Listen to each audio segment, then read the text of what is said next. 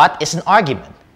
It is basically a series of statements that comprises the premises that you would have to assume and a conclusion which you would have to evaluate as true or false.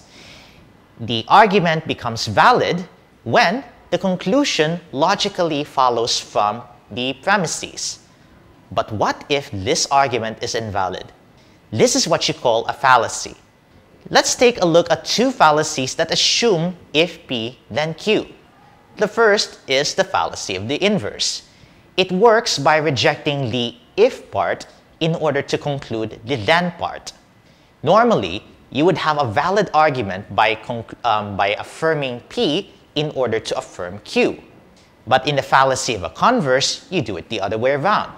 It is illegal to affirm Q to conclude P.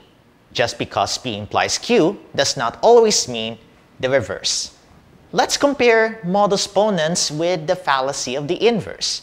Modus ponens is valid when you have the conditional if P then Q and you affirm P, then by modus ponens you affirm Q. But in the fallacy of the inverse, you reject P in order to reject Q. This argument is invalid and the conclusion, not Q, is not always logically true we can compare the fallacy of the converse with the valid statement modus tollens. Modus tollens is valid. When you're given the conditional if P then Q, then it is legal to reject Q in order to reject P. But instead, when you affirm Q to affirm P, now you have an invalid argument. This is the fallacy of the converse. Just because P implies Q doesn't mean that its converse will hold. Here's an example of a fallacy of the inverse compared with modus ponens. In modus ponens, you would normally say, all dogs are hairy, my pet Cotton is a dog, therefore Cotton is hairy. Now that is a valid argument. However, it is invalid to say, all dogs are hairy, my pet Cotton is not a dog, therefore Cotton is not hairy. You can verify this by drawing an Euler diagram. In the fallacy of the inverse, it is invalid because cotton is not a dog doesn't mean that cotton will not necessarily be hairy. Here's an example for the fallacy of the converse. It is valid to say, all dogs are hairy. My pet Cotton is not hairy. Therefore, Cotton is not a dog. In the fallacy of the converse, it is invalid to say, all dogs are hairy my pet Cotton is hairy, therefore Cotton is a dog. This is invalid because just because she said that Cotton is hairy doesn't mean it's going to be a dog. It might be a hairy cat. So here are the fallacies of the inverse and the fallacy of the converse when displayed in a truth table. Unlike valid arguments where there's only one truth value, namely true, these two fallacies are not always true. In the highlighted case where P is false and Q is true, both fallacies become false. So, the fallacies are not tautologies. And that is just the tip of the iceberg. There are many other fallacies that have defects in content, even though there may not be a problem with the logical structure. For example, the fallacy argumentum ad hominem has its conclusion justified by attacking the arguer whether through its character or to its personality. Argumentum ad populum appeals to the majority of the audience. It's like the bandwagon principle. A product is good because 90% of the, um, of the consumers agree that it is good. This is an example of ad populum, an appeal to popularity. Another fallacy is appeal to authority. Historically, there's a there's an argument that vitamin C is um, that you should take lots of vitamin C. That's why we have daily supplements, and that is because someone of a reasonable of a high authority rank said that. Just because someone who occupy who has won a Nobel Prize said that that vitamin C is good for you doesn't necessarily mean that there uh, doesn't necessarily agree with the scientific evidence of the effects of vitamin C. Another fallacy is false cause. It's like saying X is correlated to Y, so X causes Y. An example, Whenever I wake up, it will rain today. So, my waking up caused the rain. This is a false cause. And there's also the fallacy of hasty generalization. The conclusion is justified by very few supporting examples. A famous example links autism with vaccination, despite this not being true. The argument states that due to a small number of cases that seem to link autism with vaccination, then we would say that autism should be linked to vaccination. This is a hasty generalization. It does not consider um, reliable and sufficient evidence.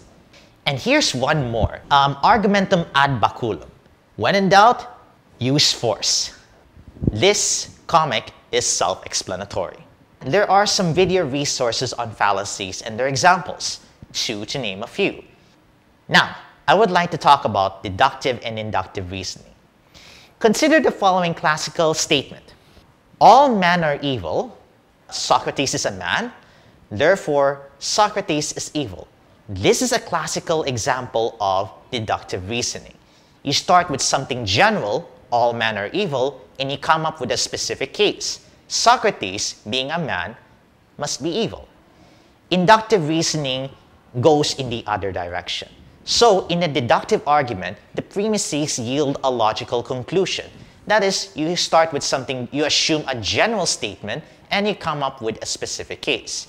In an inductive argument, the premises merely support a plausible conclusion. Here's a mathematical example comparing deductive argument and inductive argument regarding even numbers.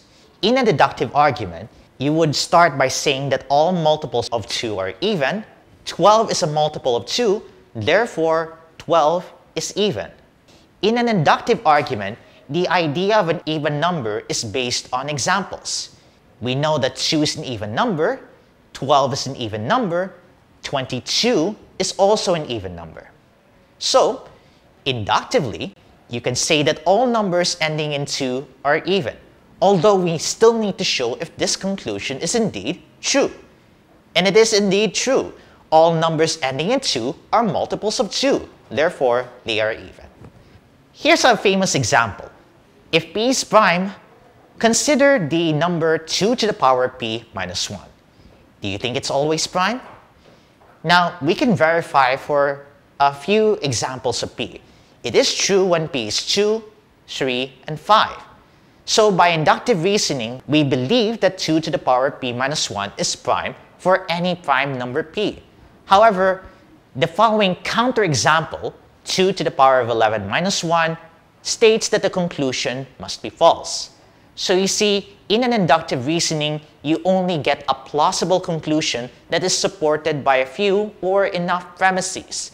If even just one counterexample can be found, then the conclusion is definitely false. Let me introduce you to Pierre de Fermat, one of the famous mathematicians in the 17th century. He was interested in a problem that basically extends the Pythagorean theorem. Now, I would like to um, bring your attention to a very famous quote. He wrote in the margin of a mathematics textbook, it is impossible to separate a cube into cu two cubes or fourth power into two fourth powers or in general any power higher than the second into two like powers.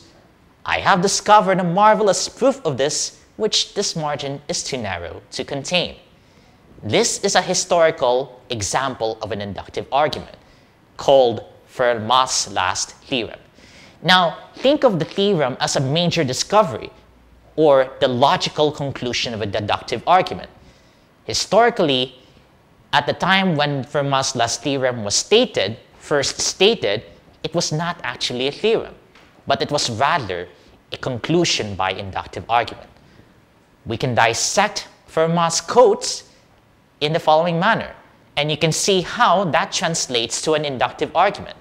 Consider the statement that there are no natural numbers a, b, and c such that a to the power of n plus b to the power of n equals c to the power of n. Now, this is true when n equals 3, also true when n equals 4. Mathematicians have also verified this for other values of p. But at the time, it was not sure when the statement P is true for all n greater than 2. This is what you call Fermat's last theorem. And it gets a little bit interesting.